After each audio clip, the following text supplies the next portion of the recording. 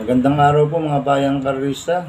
Ngayon po ay araw ng Webes, April 28, 2022. Karera po ng Metro Turf, Malbar, Batangas. May siyam na karera po tayo sa araw na ito. Nandito naman po yung lingkod, Ranken Master Wangbu, aka Eloto Budoy para magbigay ng giya at analysis sa inyo mga bayang karista. Mga bayang karista, ang start po ng karera, karera natin ay 5pm.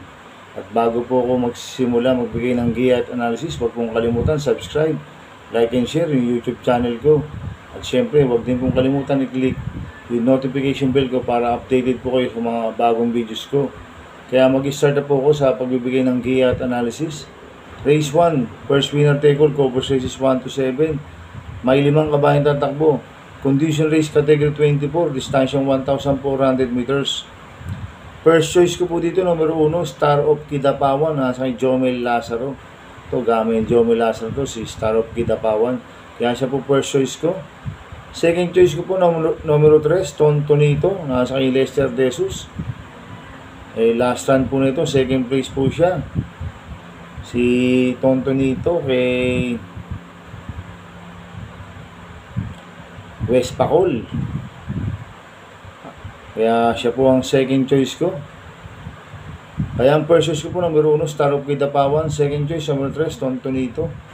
Race 2 po tayo. First pick 5, cover races 2 to 6. May anim na kabayan tatakbo.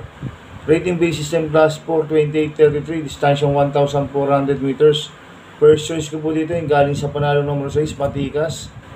Na sa akin ni Kelvin Abobo, nanalo po last na to. Sumakay po dito si JB Gusing yan, si Kelvin Abobo. Imported doors po to. Maganda numero. Kaya malaki panalo nito. Kaya siya po first choice ko. Second choice ko po yung di banderang numero 3, Miss Ibigi. Nasa ni RG Fernandez. Itong si Miss Ibigi, tingin ko solo kay Ryuto. Last run, second place po siya kay Cats Wonderful. Inabol kagad siya ni Cats Wonderful. Last run, eh, ngayon tingin ko wala akong wala akong lulucha dito. Pag napabayaan sa harap to, pwedeng makatapos ang karera to si Miss Ibigi. Kaya siya po ang second choice ko. Kaya ang first choice ko po, number 6, Matikas. Second choice, number 3, Miss Ibigi. Sa race 3 po tayo, second winner take all covers races 3 to 9. May siyam na kabayan tatakbo, rating base system class 4, 1621 split. Sa distansyang 1,400 meters. First choice ko po dito, de banderang numero 8, Cinderella King, nasa ni JQ Cabarius. Bumaba po ng rating base system to, tingin ko solo airi po to si Cinderella King. Maiksi po ang distansya, 1,400 meters, kaya malaki panalo sa akin ito, kaya siya po first choice ko. Second choice ko po yung derimating numero 7, Blazing Bullet. Nasa akin po yung Apoy Asuncion, lasan, third place po siya, kila Walking on Sunshine. Easy landing si Blazing Bullet, medyo maganda na po tinakbo ni Blazing Bullet last run. Kaya siya po ang second choice ko. Third choice ko na pandiado, numero 5, Tons of Gold, nasa akin RD Raquel Jr. Itong si Tons of Gold, second place last run kay kay Adobo Country, Cambio Hinete, binigay na po kay RD Raquel Jr. Last run si DB Santiago po sumakay dito.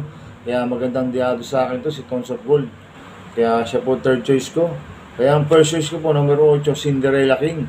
Second choice, numero 7, Blazing Bullet. Third choice na pandiado, numero 5, Tons of Gold. Sa race 4 po tayo. Pick 6, cover races 4 to 9. May pitong kabayan tatakbo. Condition race, March 17-18. Distansya 1,400 meters. First choice ko po dito yung galing sa panalo numero 7, Morning Breeze. Nasa kanyang Danny Boy Camanyero, medyo maganda panalo last run, last run nito, medyo malayo. Tinalo sila Tulop Choice. Kaya gamay pa ni Danny Boy Camanyero to, maganda pa numero, numero 7. Kaya siya po ang first choice ko.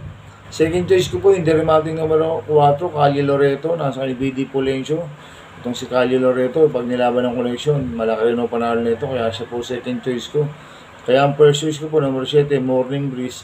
Second choice, numero 4, Kali Loreto. Sa race 5 po tayo, second pick 5, Copos races 5 to 9. May labing isang kabayan tatakbo. Rating base system class 5, 6 and 10 split. Sa distansyang 1,400 meters. First choice ko po dito, yung galing sa panalo numero 9, Fortune Island. Nasa kay JB Guse, nanalo po last run yan. Pagpanalo po niya si O'Neal Cortez, ngayon si JB Guse naman po ang sasakay ngayon. Kaya malaki panalo sa akin ito, kaya siya po first choice ko. Second choice ko po, numero 8, Jacob Gloves. Nasa kay ni Michael De Jesus, ito si Jacob Gloves, si Lasan, second place po siya kay Plus. Deremating kabayo, kaya siya po ang second choice ko. Kaya ang first choice ko po, number 9, Fortune Island. Second choice, number 8, Jack of Clubs. Sa race 6 po tayo. Uh, Big 4, Cobos Races 6 to 9. Ah, may walong kabayan tatakbo, rating base system class 4, 1621 split. Sa distansyang 1,400 meters. First choice ko po dito, hindi banderang numero 8, Double Happiness, nasa kanya RD Fernandez. Tingin ko, solo Irie po ito, si Double Happiness. Wala po akong nakikitang pwedeng humabol sa kanya. Pag napabayaan nila sa harap to, pwedeng makatapos ang karera to. Kaya siya po first choice ko. Second choice ko po yung Copulente numero 1, Manila Boy, nasa kanya Mart Alvarez. 1A, Morning Girl, nasa kanya James Torque. Parehas po malaki pa na ito, itong Copulente numero 1, pag nilabas ng connection. Kaya sila po second choice ko. Kaya ang first choice ko po, numero 8, Double Happiness. Second choice entry numero 1, Manila Boy. 1A, Morning Girl. Sa race 7 po tayo. May pitong kabayan tatakbo. Condition race merge 1920. Distansyang 1,400 meters. First choice ko po dito, hindi banderang numero 6. Tool of choice. Nasa sa Dampilapil. Ito nga, last na. Second place po siya kay Morning Breeze. Si Tool of Choice, gamit ni sa Dampilapil to. Kaya siya po first choice ko. Second choice ko po ay nagbabalik na numero 7, Noonbell, nasa kay JB Hernandez. Ito medyo mababa na sa laban si Noonbell. Kaya siya po second choice ko. Kaya ang first choice ko po, numero 6, Tool of Choice. Second choice, numero 7, Noonbell. Sa penultimate race number 8 na po tayo, mga bayang kararisa. May walong kabayan tatakbo, rating base system class 5, 11 to 15 split, distansyang 1,400 meters. First choice ko po dito, yung deremating numero 7, 7 of Diamonds. Nasa akin ni Conrad Enson to, bumaba po ng rating base system to, si 7 of Diamonds. Gamay po ni Boji Enson to. Kaya siya po first choice ko. Second choice ko po yung di banderang numero 3, Don't Stop Believing, nasa Jao sa ulog.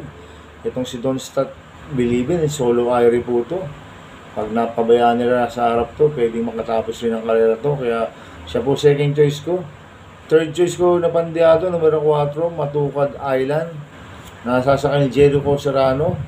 Itong si Matukad Island, last run, eh, third place po siya, kala Great Connection, Gingini.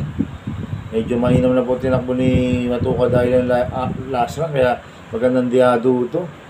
Kaya siya po third choice ko. Kaya ang first choice ko po, number 7, 7 of Diamonds. Second choice, number 3, Don't Stop Believing. Third choice sa Pandiado, number 4, Matukad Island. Sa last race po tayo, sa race 9. Ah, may labing tatlong kabayan tatakbo, rating base system class 5, 6, and 10 split sa distansyang 1,400 meters. First choice ko po dito, numero 8, moving violation, nasa si MP Lapil.